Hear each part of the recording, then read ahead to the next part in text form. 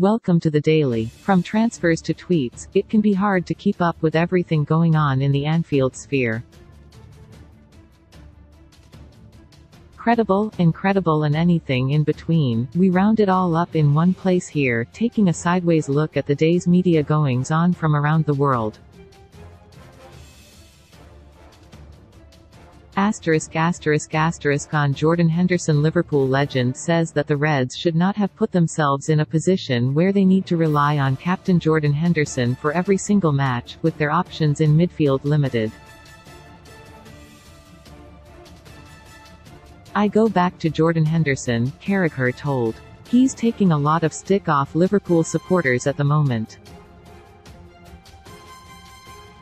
Henderson has done his job, he comes at 21, he's 32 and he's won everything. He shouldn't be playing every week right now anyway.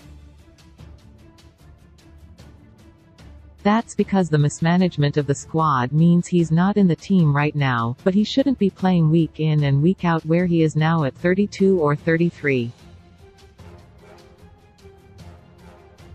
He's having to play there because of the mismanagement of the squad, transfer claim made could lose to in the summer, according to, with the Spanish outlet reporting that the La Liga champions are lining up a move for the Norwegian forward. Speculation around a number of players is likely to emerge amid the allegations aimed at the Etihad side earlier this week, with Haaland one high-profile name that has been linked with before. Not only does the report in Spain claim that Haaland could be on the move, though. They also say that it could have a positive impact on S pursuit of, and therefore a negative one on Liverpool, because the pair know each other well from their time at Borussia Dortmund. Liverpool, the report states, could find attracting Bellingham difficult if they miss out on the places, as seems likely at this stage, which seems a reasonable point to make, but Haaland could make the Reds' transfer plans even harder.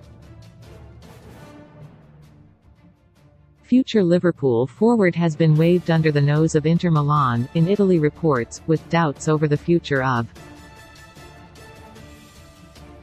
Ideally, Inter would like to keep Lukaku on another loan deal from, but should they fail to keep hold of him for next season, Firmino is an option they could explore, with intimation being that Firmino's agent may have offered the player's services. Inter and have supposedly agreed to talk about Lukaku after the last 16 is out of the way, at which time a decision would then be made with Firmino, according to the report. Kylian Mbappe pushes for signing as in more transfer talks, Liverpool rivals round up.